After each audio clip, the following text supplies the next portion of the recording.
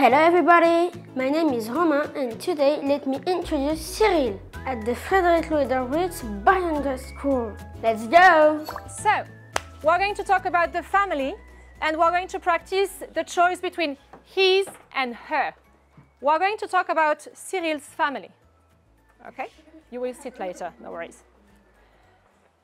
So, c'est son oncle. Okay, what is the answer?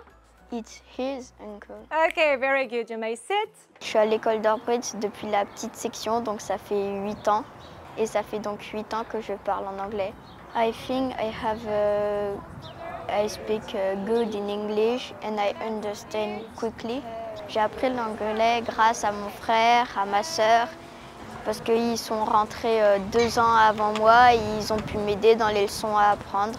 J'ai aussi appris à parler anglais grâce aux enseignants qui m'ont fait découvrir des nouveaux mots, des nouveaux temps pour la conjugaison, des nouveaux chiffres pour les maths et plein d'autres choses. Dans 10 ou 20 ans, je veux faire maître ou astronaute et il faut parler anglais dans l'espace parce que c'est la langue internationale.